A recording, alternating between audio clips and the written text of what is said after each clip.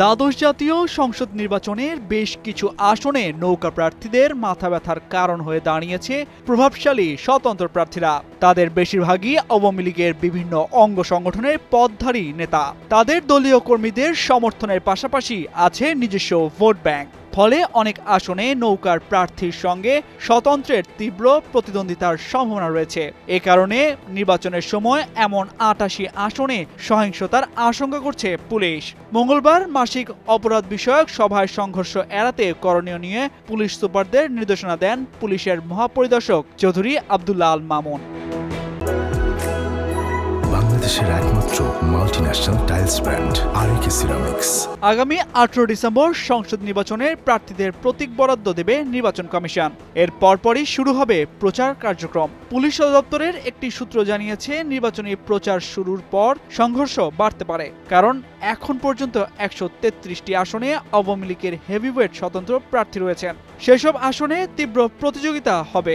এর মধ্যে অন্তত আটাশি আসনে সংঘর্ষের আশঙ্কা রয়েছে।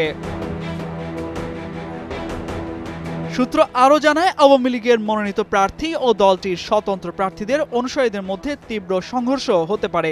এমন আসনগুলোর মধ্যে অন্যতম ঢাকা উনিশ।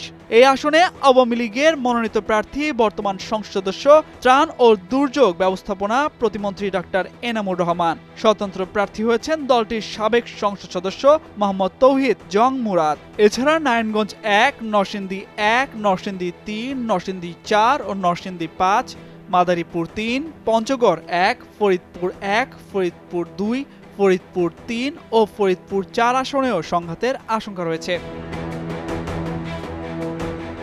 অন্যদিকে বরিশাল দুই, বরিশাল চার ও বরিশাল পাঁচ, ভোলা তিন, পটুয়াখালী চার, বরগুনা দুই ও ঝালকাঠি এক আসনও সংঘাতের ঝুঁকিতে রয়েছে বলে মনে করছে পুলিশ।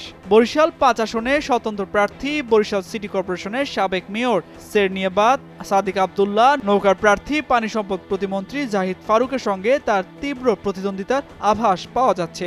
নেতাকর্মীদের মধ্যে এ নিয়ে উত্তেজনা রয়েছে।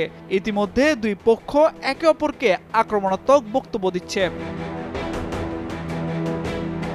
পুলিশের তথ্য মতে, রাজশাহী এক, রাজশাহী চার ও রাজশাহী ছয়, গাইবান্ধা চার ও গাইবান্ধা পাঁচ, টাঙ্গাইল তিন ও টাঙ্গাইল পাঁচ, যশোর চার, সাতক্ষীরা এক জামালপুর চার, কুমিল্লা চার, মানিকগঞ্জ দুই, কিশোরগঞ্জ দুই, সুনামগঞ্জ এক, চট্টগ্রাম বারো এবং নোয়াখালী এক ও নোয়াখালী দুই আসনও সংঘাতময় হয়ে উঠতে পারে যে কোনো সময়। এছাড়া রংপুর, ময়মনসিংহ সহ বেশ কয়েকটি জেলায় সহিংসতার আশঙ্কা রয়েছে।